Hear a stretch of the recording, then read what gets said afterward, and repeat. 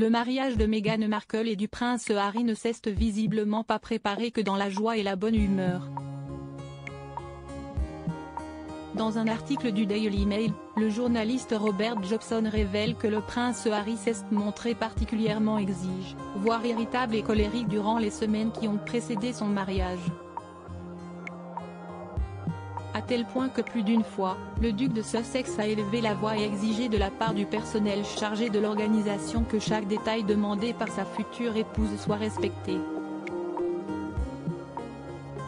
Ce que Meghan veut, elle l'obtient, aurait-il alors lancé aux organisateurs du mariage, rapporte le journaliste. Les semaines qui ont précédé le mariage avaient été bien plus tendues pour Harry et Meghan que la plupart des gens ne le pensaient, explique le journaliste, qui ajoute notamment que le couple a eu recours à des séances d'acupuncture chez Ross Barpour, surnommé l'acupuncteur des stars.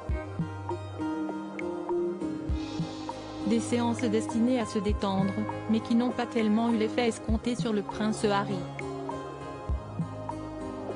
Dans une biographie consacrée au prince Charles, à paraître, Robert Jobson explique qu'il n'est pas rare que le duc de Sussex élève la voix ainsi. Un comportement qui, d'après le journaliste, s'apparente aux sautes d'humeur extrêmes que faisait Lady Diana, et qui ont souvent choqué le prince Charles. Les deux princes ressemblent beaucoup à leur mère Charles admet qu'il a souvent du mal à évaluer l'humeur parfois imprévisible de ses fils, rapporte Robert Jobson. Dans cet aspect de leur nature, les deux princes ressemblent beaucoup à leur mère. Un comportement qui appartient peut-être désormais au passé Comme le rapportait Arthur Edwards, photographe de la famille royale depuis plus 40 ans, le prince Harry a selon lui beaucoup changé, et il se montre désormais très protecteur envers sa femme.